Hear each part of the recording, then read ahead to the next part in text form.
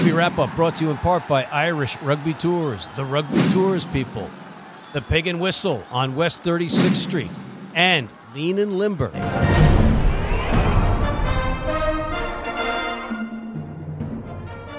Hey, everybody, and welcome back to Rugby Wrap Up's College Rugby Report. This week, we have a full D1A college rugby show for you, including dignitaries waiting in the internet green rooms. So let's not waste any more time and get right to it. In the East, out of respect for our veterans, let's start with Army versus Penn State. The teams were tied at halftime thanks to a penalty try awarded to Army because of a late yellow card given to Penn State flanker Peter Jean, who was apparently caught looking for a last name. Okay, maybe that wasn't the penalty, but it did mean that Penn State was down a man and that Army had an advantage coming out of the shed to start the second half. And they took advantage of that man advantage. Two tries from number eight, Marco Polo Carabata enabled the Black Knights to pull away and show the world that they have rebounded from some early season setbacks. Final score 31 14, and this stuff just writes itself because the top scorer with three tries, the hat trick, was Marco Polo Carabata. Notre Dame College versus Mary Washington. The Falcons versus the Eagles. 5 to 14 at the half because this is not just your mother's rugby team anymore. No, this young and improving team in its first D1A season gives teams fits, but they are yet to learn how to play 80 minutes. To that end, Notre Dame College went on a 25 zip run in the second half to pull away. No conversations. Wait a minute. No conversions. No conversions.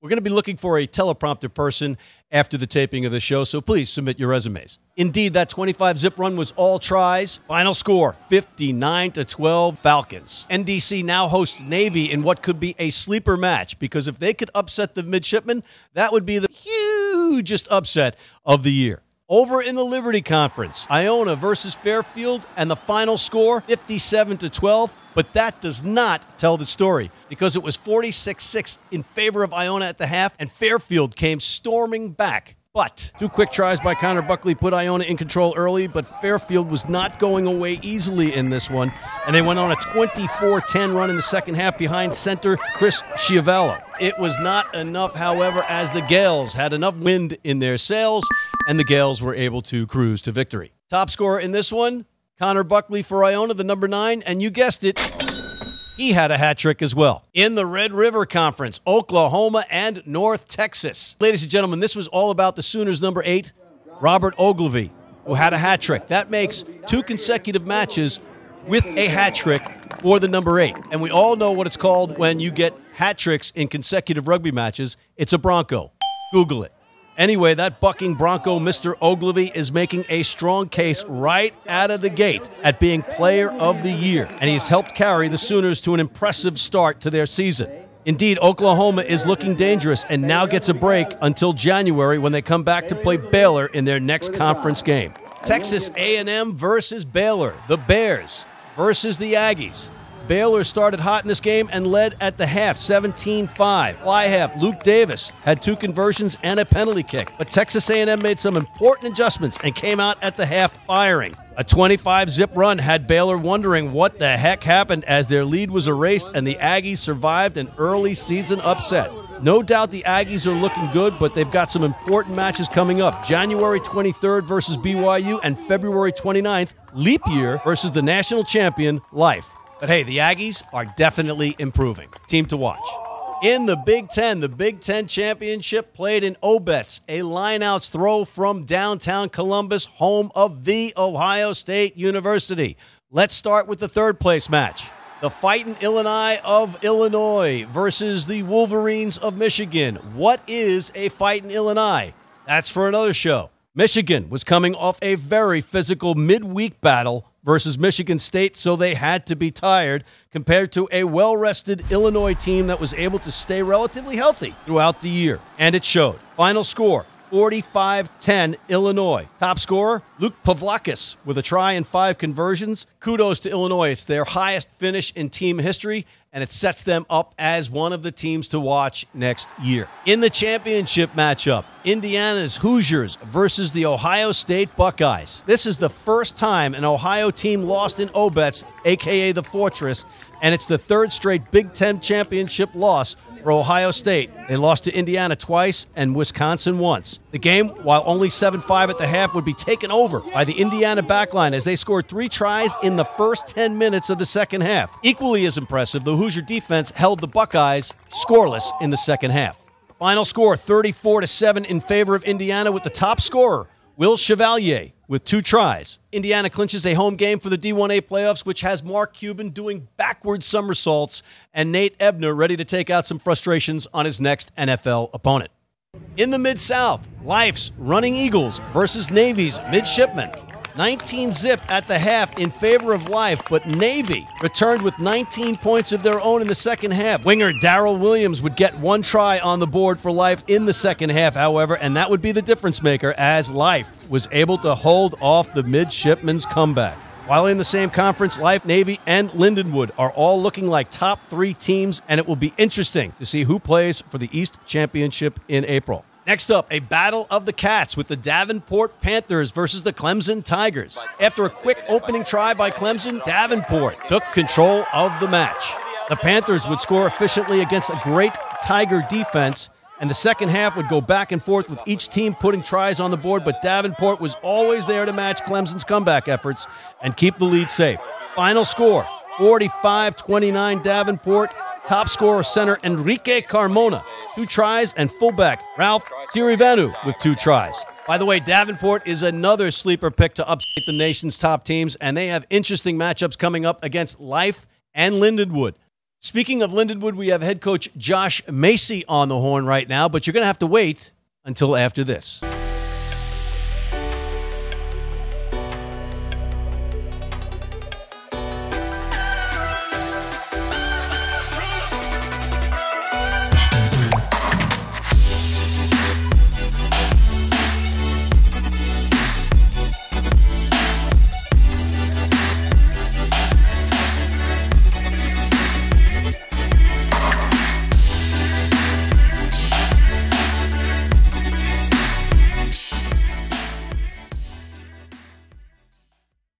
If you're in New York City and want to watch some great rugby, have some great food, and some great times, go to the world's best rugby pub, the Pig and Whistle on West 36th Street.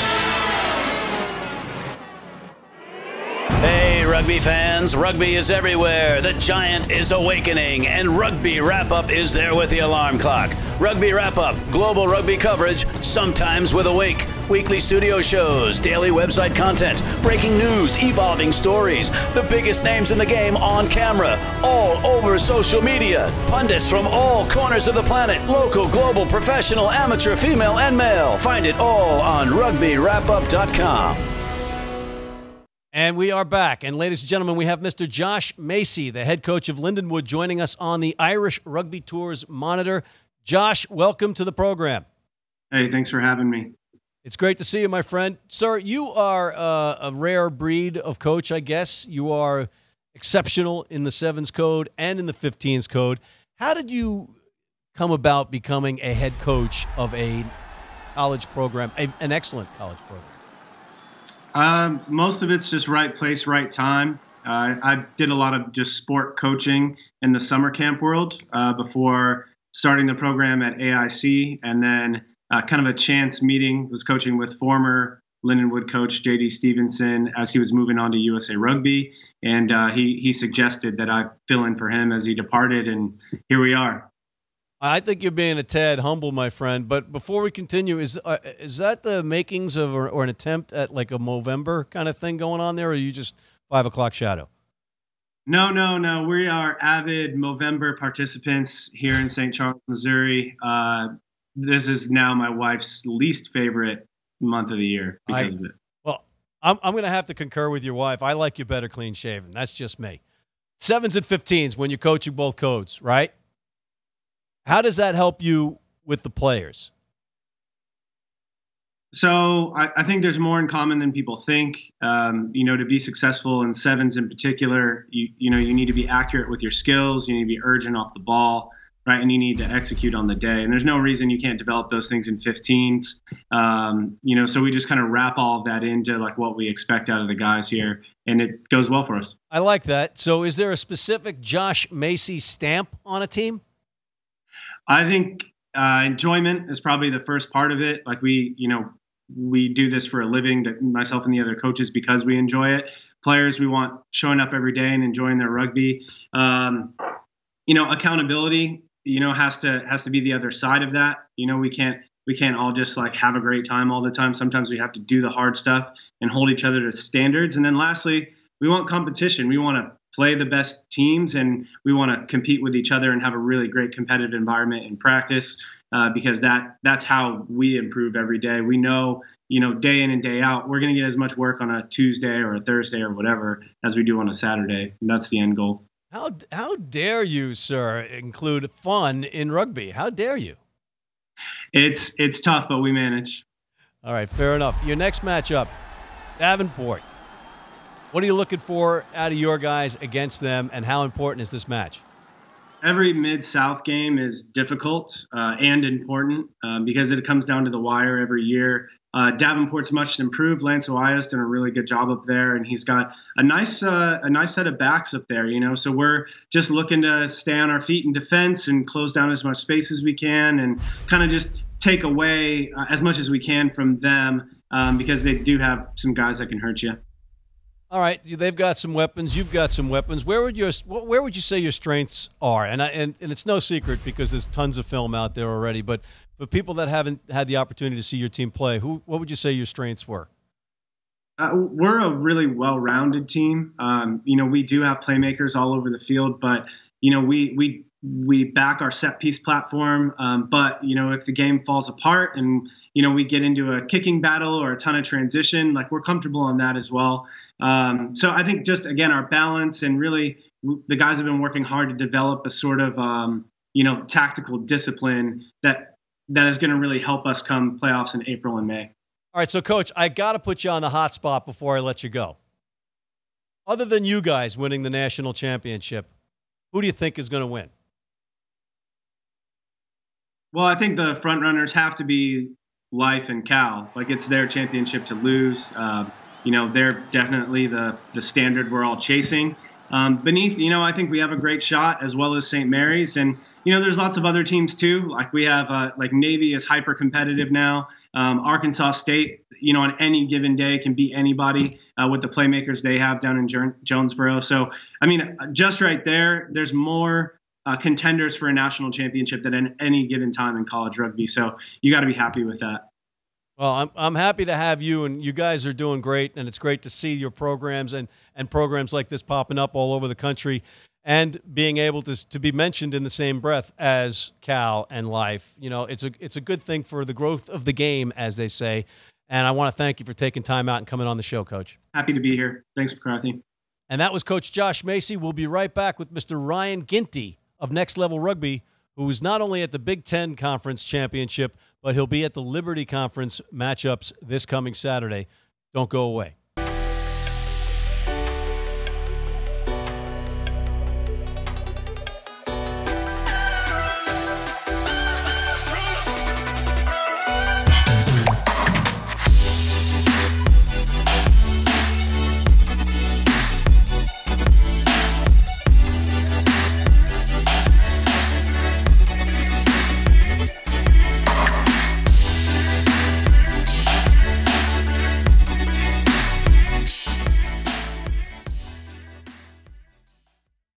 If you're in New York City and want to watch some great rugby, have some great food, and some great times, go to the world's best rugby pub, the Pig and Whistle on West 36th Street. Rugby fans. Rugby is everywhere. The giant is awakening, and Rugby Wrap Up is there with the alarm clock. Rugby Wrap Up, global rugby coverage, sometimes with a wink. Weekly studio shows, daily website content, breaking news, evolving stories, the biggest names in the game on camera, all over social media. Pundits from all corners of the planet, local, global, professional, amateur, female, and male. Find it all on rugbywrapup.com. And we are back, and we have Mr. Ryan Ginty of Next Level Rugby on the Irish Rugby Tours monitor wearing a USA Eagles Tours shirt. No conflict there, folks. It's all rugby. But Ryan, welcome. Well, Matt, it's uh, exciting to be back. It's uh, been quite uh, done a lot of traveling lately, but excited to uh, produce an event back here in uh, our backyard in Fairfield, Connecticut, at uh, Rafferty Stadium this weekend for the Liberty Conference Championship and Series. going to have nine games total. Seven of them are going to be streamed live for you. Three of them are going to be shown in at least 60 million homes. And uh, we're pretty excited about the matchups that we have this weekend. So that's on for the Fan Network, which is still 11 Sports, right? Yeah, so uh, for the fan is going to be picking up a lot of college rugby, and the great thing that they're offering is zero paywall. Um, for the fan, FTFnext.com is where you can find uh, four of the matches. Uh, three of the matches, which are going to be the premier broadcast matches, are going to be going to Linear 11 Sports uh, Network. And uh, if you want to access those, I'm going to let you guys in on a little secret. It's called Pluto.tv. Free television, no paywalls. Uh, you get a bunch of channels, and 11 Sports is on there as well. And it's available Roku app and streaming anywhere digitally online. All right, so uh, we're taping this earlier in the week. I've got the matchups starting at 8:30 a.m. and the last one kicking off at 7:30 p.m. Is that still pretty much what's going on? Well, Matt, uh, yeah, I would say so. 8:30, kicking it off with Stony Brook versus Colgate, and we're just going to roll all the way through. That last match is going to be Fairfield, the host team, taking on your Buffalo boys that are sitting at six and one. That's going to start at seven o'clock, not 7:30. All right, and that was a switch to what accommodate the championship match? So that was uh, that was just a switch, so that way we could get all the matches. There is a TV window, at one o'clock, at three o'clock, and a five o'clock match. So in order to fit that TV window, we had to do a little bit of adjusting. Um, but I think it's going to be a good day. All right. So other than my University of Buffalo Bulls winning seventy-five to zip over Fairfield, my cousin uh, Robert Robert Doc Hines's Fairfield team, uh, what can you tell me about the marquee matchups? Well, so you got a couple of really good matchups, right? The three that are targeted right there. Iona versus St. Bonaventures. Excited about that one. Iona coming in five and two, five and zero oh in the Liberty Conference. They're going to be playing Rugby East uh, team. That's going to be St. Bonaventure in a rematch of last year, what was an instant classic. Those two teams slugged it out, went back and forth. We had a huge crowd, probably about 400, 500 people there just to watch that game. So I'm excited for that. Uh, you know, the Iona team only losing to Army and Navy, which uh, both those teams are powerhouses in their own right. Um, and again, you know, it's uh, St. Bonaventures. They don't have a winning record, but they are playing the toughest competition on the East Coast without a doubt. Yeah, and the respective faces of the franchises, the two coaches, Bruce McLean is kind of like Rocky, and Tui Osborne is kind of like Apollo Creed. You know, you got that smooth versus the not so smooth. Uh, I must say, you got two great coaches that are going to be going head to head, and uh, I will say both those coaches have a lot of respect for each other. They enjoy competing against each other, and they're both needle movers in the collegiate rugby landscape. And you also got that Massachusetts matchup, right? Yeah, so uh, not to be overshadowed, the championship, Boston College versus Northeastern. This is going to be a Boston grudge match coming in here. Boston College having beaten or go or having lost only to Northeastern. Northeastern's coming into this undefeated. Uh, this is a matchup. These two teams uh, they played each other October 5th with uh, Northeastern coming out on top 42 to 33. So that's going to be a good one. And then in the third place matchup, you got AIC taking on Syracuse. Both these teams you would think would want to be in this championship game. Syracuse coming in here. Uh, they've been a great seven and one. Their only loss coming to Boston College, one of those teams competing for that Liberty Rugby Conference championship spot. You've also got Oswego showing up, Binghamton showing up, Fordham showing up, Tufts and Cortland. So there's a there's a large uh, representation of the geography of our region here. I would say, right? Yeah, and as is with the Liberty Rugby Conference, uh, it is set up into three different divisions. You have your Empire, I 95, and your New England division. Uh, 20 teams here up in the Northeast, and they're basically coming in one weekend. Everybody comes together, one big event, playing in a stadium, having good production, you know, getting everybody together, and then going to finish out the fall season with a bang and uh, crown a champion, and then also provide a couple other uh, good matchups and great entertaining rugby for all to watch and see. Yeah, and you, you mentioned quality production. You guys are front and center in that with Next Level Rugby, and I am very tickled that you called me to help you out with the calling of the matches for Next Level Rugby. I'm very, very excited about that. But we talked about your travel, and I know you're in Japan for the Rugby World Cup, that old thing. But I'm more excited about you telling us a little bit about the Big Ten championship with Ohio State and Indiana at the Fortress. Yes, yeah, so uh, Big Ten, uh, great matchups. Uh, you had Illinois taking on Michigan. Michigan played three games in the last week before coming in. This was their third game in a week to play. They had to do the reschedule, the Battle of the Mitten, which determined who was going to go play for the uh, third place. So those guys came out not able to get it done against that team. Illinois looked really good. They came out firing. And then you had Indiana versus Ohio State. Ohio State leading going into halftime, you know, seven to five. But then Indiana would just come out and they just uh, come out led through Joey Blakely and then Will Chevalier in the 13th spot. I mean, those guys were pretty good, putting up two tries and a try piece. Uh, so that was really exciting, really good. Unfortunate for the Ohio State boys. This has been four times they have been here and they have lost. So I yeah. guess we can call them the Buffalo Bills of the Big Ten championship right now. Jim Kelly's Bills, of course, they lost to my New York Giants. Uh, wide right, Scott Norwood. But we'll get into the NFL aspect of this some other time. But we could bring up Nate Ebner. Uh, he was an Ohio State guy, and he's not happy. But he's, as we said earlier in the in the broadcast, Ryan, he's going to take it out on some other NFL opponent this week. Who's going to win the championship? Well, Matt, I got a definite winner for you, and it's going to be rugby. But I'm not just going to say rugby. I'm going to say the viewer. Why? Because you can watch these games for free on For the Fan uh, and 11 Sports. Uh, Captain Cop Out, Ryan Ginty on from Next Level Rugby here on Rugby Wrap Up. Thank you, my friend. I look forward to seeing you very early Saturday morning. All right. Make sure you get that early train in, Matt, and there will be plenty of coffee for you. Copious amounts, if you will. And that allows us to segue to our player of the week.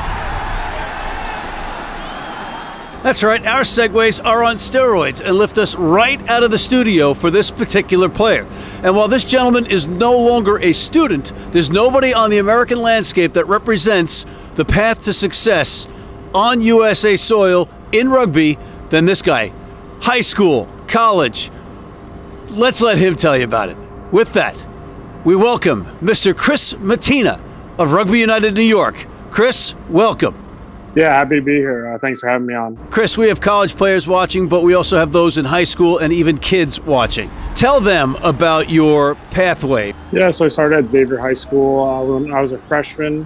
Um, you know, my dad had played rugby, but I always wanted to play football. But um, you know, going to Xavier, we had a really good program, and they wanted me to play, so I went out there and kind of fell in love with it from uh, day one. Your dad played, which means I probably played against him, and in all likelihood, he ran over me a couple hundred times. Was it watching him play, or was it more watching the kids at Xavier High School play rugby that got you interested? I think it was uh, seeing other kids at Xavier play. Um, our whole football team would play rugby, so you know it kind of just fit. I was doing everything that I was doing on a rugby field, on the football field. I was kicking, playing defense, playing offense. So seemed like a natural fit, and uh, you know, it, it really was seamless for me to kind of go into it. And my dad had a background in it, so he saw no problem. This is a college show, and I want to know for you, looking back now, how has the college landscape changed? Um, you know, I think it's it's getting a lot better. Um, you know, I think there's a lot more co- better coaches, a lot more. You know, in the age of the internet, you can you know do a lot uh, better things with you know your time and um, you know, I think I learned a lot in terms of leadership.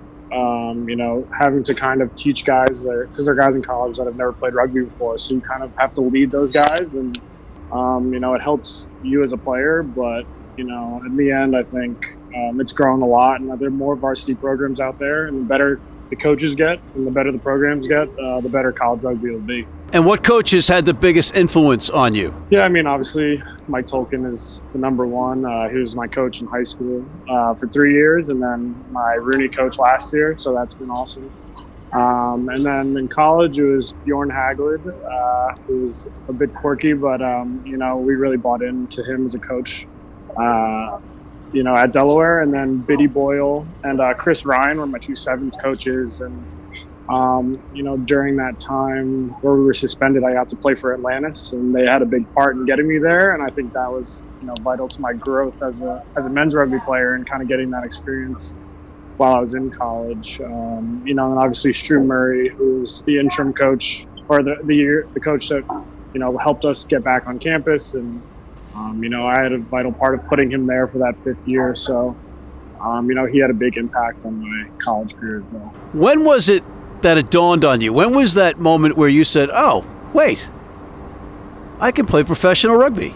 Um, you know, it's kind of tough. I think during those years of our suspension, when I started playing men's rugby, uh, my junior and senior year, you know, when we were suspended, that kind of um, gave me the confidence. You know, when you play against grown men, and you know, you figure that you know they're big, but you know, you can you can do a lot of different things and you know, that's kind of where I started to figure out my game. And then doing my fifth year, um, you know, that helped me a lot. And I think I matured a lot in that process. And I think that really helped me. And I've been through a lot of different stuff. So, um, you know, coming back and doing that fifth year and, and kind of guiding that team to, you know, 500 or winning record, you know, with nobody you know, really there for the last two years. I think that was kind of when I was like, you know, I could kind of do something with this. Yeah, you're referring, of course, to some of the off the field kerfuffle that had the, the uh, program suspended for a bit of time, but you made the best of it. And in fact, what's interesting for me is that you represent a new generation, a second generation of players that we haven't had.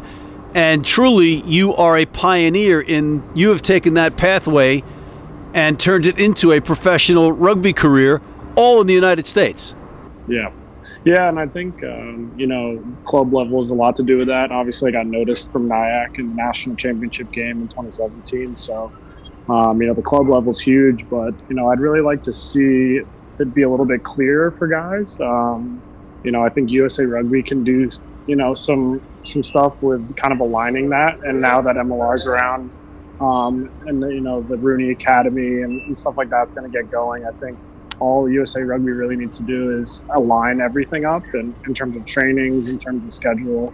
And it's very hard to do, um, you know, with such a big country and, you know, colleges are all over the place and, and, players all over the place. So I think, you know, if they can give it a little bit more direction and alignment, uh, you know, I think it'll be a lot easier because uh, I've had to do it the hard way. But, you know, I hope in the future I can also help since I know it's so low. My goal is to to help it and kind of help them align, you know, those pathways from college to academy to club to, to eventually national team and and uh, the professional level. And how cool is it that you get to line up in a back line with Ben Foden and Mathieu Bastareaud? Yeah, that's awesome. Uh, you know, I get to learn from the best, you know, that, that there's been. And, you know, I'm really excited to have those guys in. And I've learned so much in the last year in terms of 15's knowledge. Like, you know, going from you know, club level to that and surrounded by all these guys has been awesome for me. And, you know, I was able to use that in this NYAC season and now it's going to be ramped up even more with Bastareaud. Yeah, he could be at 13, he could be at 8. You know, we have no idea where he's going to be. So, uh, you know, it's going to be really interesting. But he seems like a great guy. I've talked to him a little bit so far. So um, you know, we're really looking forward to having him there. And there you have it, Mr. Chris Mattina, the rarest of rare, a New York City born and bred professional rugby player and a shining example not just to college players out there, but to all players out there. Thank you, Chris. Thanks, Matt. Appreciate it. The Rugby Wrap Up Player of the Week. And on that note, I'm Matt McCarthy with this week's Rugby Wrap Up College Rugby Report from Midtown Manhattan, signing off.